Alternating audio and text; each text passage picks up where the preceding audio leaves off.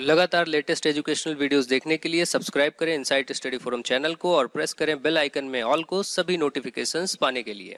नमस्कार welcome to insight study forum आज के इस वीडियो में हम बात करेंगे सीटेट का ईवीएस का सिलेबस क्या है?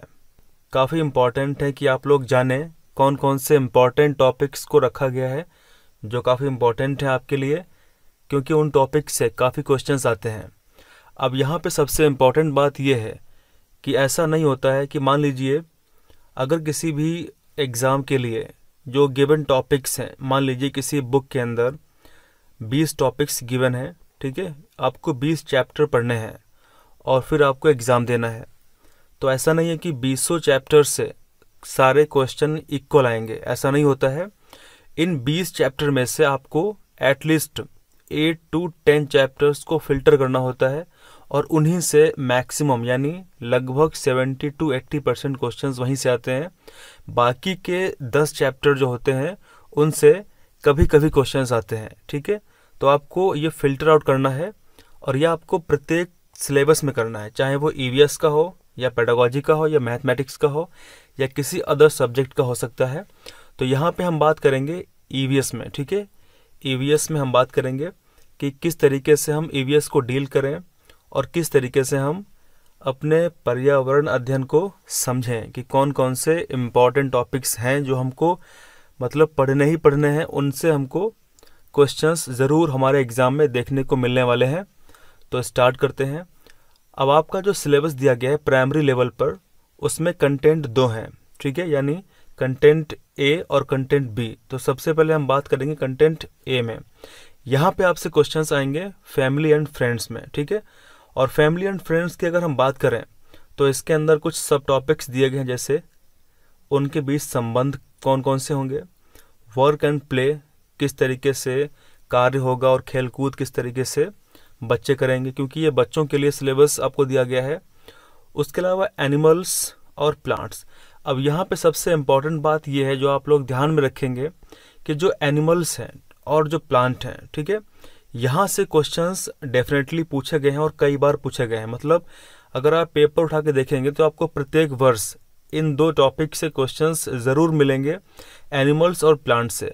और क्वेश्चंस का जो लेवल है, वो काफ़ी अच्छा है। यानी, अगर आप केवल एन बुक्स e जैसा सभी लोग कहते हैं कि क्लास थर्ड से फिफ्थ तक की, यानी क्लास थर्ड फोर्थ और फिफ्थ की जो ई e का सेक्शन है ई e की जो बुक्स हैं, अगर आप उसको डील करेंगे, उसको पढ़ेंगे तो उसको पढ़ करके शायद आप एनिमल और प्लांट्स के जो क्वेश्चंस पूछे गए हैं, उनको सॉल्व नहीं कर पाएँगे। तो इसके लिए आपको थोड़ा सा इसके बियॉन्ड जाना पड़ेगा, इसके थोड़ा सा परे जाना ही पड़ेगा। चिंता की बात नहीं है क्योंकि मैं आपको एनिमल्स एंड प्लांट्स जितने भी डिफ़िकल्ट टॉपिक हैं, जिनसे क्वेश्चंस बहुत पूछे जाते हैं, मैं आपको वो सारे डिटेल में पढ़ाऊँगा। तो यहाँ पे कोई चिंता वाली बात नहीं है, ठीक है? तो आप ध्यान रखेंगे एनिमल्स और प्लांट से क्वेश्चंस बहुत आते हैं। उसके बाद में फ़ूड से क्वेश्चंस आते हैं, ठीक है? अब फ़ूड के लिए क्वेश्चंस कैसे कैसे आएँगे कि फ़ूड हमारे लिए क्यों इम्पोर्टेंट है? फ़ूड से मिलने वाले कौन कौन से इंपॉर्टेंट न्यूट्रिशंस हमको मिलते हैं? कौन कौन से पोषक पदार्थ मिलते हैं? और फ़ूड क्यों हमारे लिए इम्पोर्टेंट है? दूसरा है शेल्टर शेल्टर का मतलब क्या होता है? निवास स्थान। प्रत्येक प्राणी के लिए जीवित रहने के लिए निवास स्थान ज़रूरी है भोजन के साथ साथ। भोजन की तो आवश्यकता पड़ती ही पड़ती है जीवित रहने के लिए, परंतु शेल्टर भी अत्यंत आवश्यक होता है और प्रत्येक पक्षी के लिए या प्रत्येक जो लिविंग एनिमल है, उसके लिए अपने हिसाब से अलग अलग शेल्टर हो सकते हैं। बिकॉज़ कुछ ऐसे एनिमल्स होते हैं जो वाटर में, यानी जो एक्वाटिक लाइफ जीते हैं तो उनका शेल्टर क्या है? उनका जो रहने का स्थान है, निवास स्थान है शेल्टर है, वो है एक्वाटिक लाइफ पानी है। किसी का ट्री हो सकता है। हमारा फ़िलहाल हमारा हाउस है, हमारा घर है, जहाँ पे हम रहते हैं। यानी कुछ ऐसे हो सकते हैं जो टेम्प्रेरी हो, कुछ हो सकते हो परमानेंट हो। ठीक है? स्थायी और अस्थाई हो सकते हैं। तो यहाँ पे कुछ क्वेश्चंस पूछे भी गए हैं और कई बार क्वेश्चन नहीं भी पूछे गए हैं। तो फ़िलहाल इसको हम डील करेंगे जब पढ़ेंगे इसको, ठीक है? उसके बाद में वाटर वाटर बहुत इंपॉर्टेंट है। कितने परसेंट वाटर हमारे पूरे अर्थ पे पीने के लिए अवेलेबल है और किस तरीके से वाटर पोल्यूशन हो रहा है और किस तरीके से जो समस्याएँ उत्पन्न हो रही हैं तो वो सारी बातें हम इसमें करेंगे, ठीक है? वाटर से क्वेश्चंस आने के चांसेस रहते हैं। ट्रैवल उसके बाद में things we make and do things we make and do यानी ऐसी चीज़ें जो हम बनाते हैं और कुछ चीज़ों को हम कर सकते हैं। जैसे मान लीजिए, कई सारे स्पोर्ट होते हैं। कई सारे खेल कूद के स्पोर्ट होते हैं तो उसको हम करते हैं। हम इस, उसमें हम पार्टिसिपेट करते हैं और कई सारी चीज़ें हम बनाते हैं। जैसे मान लीजिए, कुछ पेंटिंग्स को हम बनाते हैं, है ना? कुछ पेंटिंग्स को हम बनाते हैं और कई प्रकार की जो एक्स्ट्रा एक्टिविटीज़ होती हैं, उनको हम करते हैं। जैसे कुछ लोग शॉल को बनाते हैं, अपने हैंडीक्राफ्ट एक्टिविटीज़ करते हैं। तो उसके हिसाब से अलग अलग स्टेट्स में अलग अलग प्रदेशों में कुछ विशेष कार्य किए जाते हैं। तो यहाँ पे उसको डील किया जाएगा। क्वेश्चन यहाँ से नहीं पूछे गए हैं ज़्यादातर, लेकिन फिर भी इसको पढ़ेंगे हम, जितना हो सकता है। और उसके बाद में आता है कंटेंट बी कंटेंट बी में फ़िलहाल जो मेन है वो है शिक्षा शास्त्र के कुछ इशूज़ हैं, यानी पेडागोजिकल इशूज़ जो आपके पंद्रह क्वेश्चन यहाँ से आएँगे। और जैसा हम जानते हैं कि टोटल जो ई e होता है, वो कितने मार्क्स का होता है? वो होता है तीस नंबर का थर्टी मार्क्स का होता है, जिसमें पंद्रह आपके कंटेंट ए से आएँगे और पंद्रह कंटेंट बी से आएँगे। तो आपको इक्वली ही पढ़ना है, ठीक है? बस आपको थोड़ा सा फ़िल्टर करना है कि कौन से टॉपिक से ज़्यादातर क्वेश्चंस आते हैं और किन टॉपिक से क्वेश्चंस का लेवल बहुत ही अच्छा होता है, यानी उसको हमको बढ़िया से अच्छे तरीके से प्रिपेयर करना ही पड़ेगा। ठीक है? अगर अच्छे मार्क्स हमको चाहिए। फ़िलहाल ई e में हम अच्छे तरीके से मार्क्स को गेन कर पाएँगे, बेहतरीन अच्छे मार्क्स को। अगर हमारी स्ट्रेटजी बढ़िया है तो ठीक है?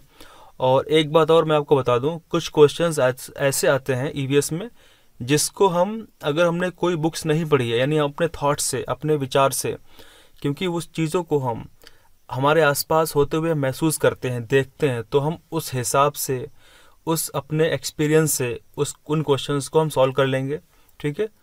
तो इसमें सबसे पहले हम बात करेंगे concept and scope of EVS यानी ईवीएस का कॉन्सेप्ट क्या है और उसका स्कोप क्या है। उसके बाद हम बात करेंगे सिग्निफिकेंस ऑफ़ ईवीएस यानी ईवीएस का महत्व क्या है और इंटीग्रेटेड जो ईवीएस है, वो क्या यानी जो एक तरीके से समावेशी जो ईवीएस है, वो क्या है? उसके बाद में इन्वामेंटल स्टडीज़ और इन्वामेंटल एजुकेशन ये दोनों क्या है? इन दोनों में डिफरेंस क्या हो सकता है? और इन दोनों की जो सिग्निफिकेंस है, वो क्या हो सकते हैं? उसके बाद में हम पढ़ेंगे लर्निंग प्रिंसिपल्स कौन कौन से इंपॉर्टेंट लर्निंग प्रिंसिपल्स होते हैं। फिर scope and relation to science and social science यानी सोशल साइंस और साइंस से क्या संबंध हो सकते हैं, क्या स्कोप हो सकते हैं। बेसिकली अगर हम बात करें तो साइंस से कुछ क्वेश्चंस ज़रूर ई के अंदर आते हैं। तो कौन कौन से इंपॉर्टेंट टॉपिक्स होते हैं ई e के लिए जो हम साइंस को कवर करेंगे तो हम पढ़ेंगे? तो वो सारी बातें स्पेशली जब हम ई e पढ़ेंगे तो हम बात करेंगे। और उसके बाद में फिर अप्रोच ऑफ़ प्रेजेंटिंग कंसेप्ट यानी अपने विचारों को, जो हम विचार हमारे होते हैं, उनको प्रेजेंट करने के जो कंसेप्ट होते हैं और जो तरीके होते हैं, वो क्या होते हैं, किस तरीके से हम बच्चों को समझा पाएँगे? क्योंकि बच्चे छोटे होते हैं, ठीक है? जैसा यहाँ पे एक चीज़ अगर मैं आपको बताऊँ, अब यहाँ पे लिखा है फैमिली एंड कंटेंट ए में यहाँ पे लिखा हुआ है फैमिली एंड फ्रेंड्स इसका मतलब क्या है कि कोई बच्चा है, मान लीजिए छोटा बच्चा है, कोई है, और फ़िलहाल यहाँ पे तो हम छोटे बच्चों को ही डील करते हैं, ठीक है? तो छोटे बच्चे का जो सबसे पहला स्कूल है वो क्या है? इस छोटे बच्चे का सबसे पहला स्कूल है वो उसकी फैमिली है. यानी जो भी कुछ वो देखता है जो भी कुछ वो ऑब्ज़र्व करता है, वो अपने फैमिली से ऑब्ज़र्व करता है। जो भी वहाँ पे उसके मेंबर्स होते हैं, उनसे वो सीखता है, ठीक है? तो इसी प्रकार यहाँ पे कुछ अप्रोचेस को हम किस तरीके से प्रेजेंट करते हैं कॉन्सेप्ट्स को, वो यहाँ पे हम बात करेंगे। उसके बाद में कुछ एक्टिविटीज़ हैं, कुछ गतिविधियाँ हम करते रहते हैं और जो काफ़ी इम्पोर्टेंट हैं लर्निंग ऑफ़ अ चाइल्ड बच्चे की एजुकेशन के लिए बहुत ही इंपॉर्टेंट है, उनको हम डील करेंगे। उसके बाद में एक्सपेरिमेंटल प्रैक्टिकल वर्क ठीक है? जो एक्सपेरिमेंटल और प्रैक्टिकल वर्क कुछ होते हैं, यहाँ से क्वेश्चंस कई बार पूछे गए हैं और आगे भी यहाँ से क्वेश्चंस के आने के चांस बहुत ज़्यादा हैं। अब यहाँ पे आप देखिए ज़रा सिग्निफिकेंस ऑफ़ ई ठीक है? यहाँ से क्वेश्चंस पूछे गए हैं, काफ़ी इंपॉर्टेंट रहेगा ये। उसके बाद में इन्वामेंटल स्टडीज़ और एजुकेशन से क्वेश्चंस पूछे गए हैं। लर्निंग प्रिंसिपल से क्वेश्चन पूछे गए कई बार। और स्कोप एंड रिलेशन यहाँ से क्वेश्चन पूछे गए हैं। तो ये कुछ टॉपिक काफ़ी इंपॉर्टेंट हैं, जहाँ से क्वेश्चन लगातार पूछे गए हैं और आपको अच्छे से प्रिपेयर करना चाहिए। उसके बाद में डिस्कशंस से क्वेश्चन पूछे गए हैं, ठीक है? उसके बाद यदि हम बात करें, जो सी सी ई है, ठीक है? सी का मतलब होता है कॉन्टिन्यूस अगला जो सी है उसका मतलब होता है कॉम्प्रिहेंसिव इवेल्युएशन यानी जो सी सी ई है इसका मतलब क्या होता है? कॉन्टिन्यूस कॉम्प्रिहेंसिव इवेल्युएशन यानी सतत व्यापक मूल्यांकन। ठीक है? ये बहुत ज़रूरी होता है।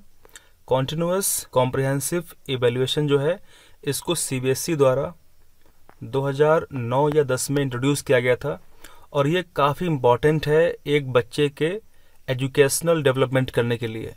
अब किस तरीके से इंपॉर्टेंट है?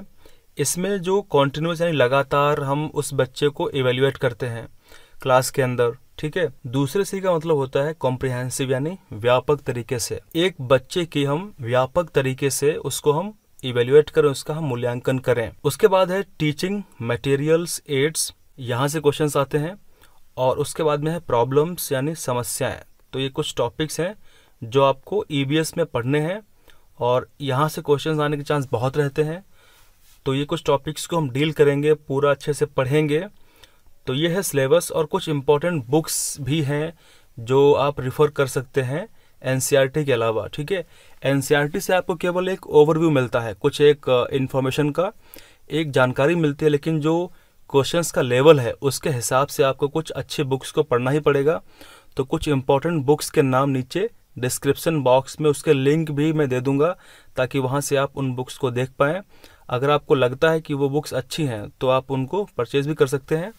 और इस वीडियो में किसी बुक्स को स्पॉन्सर नहीं किया जा रहा है। ठीक है थैंक यू वेरी मच मिलेंगे नेक्स्ट वीडियो में। Thank you thanks a lot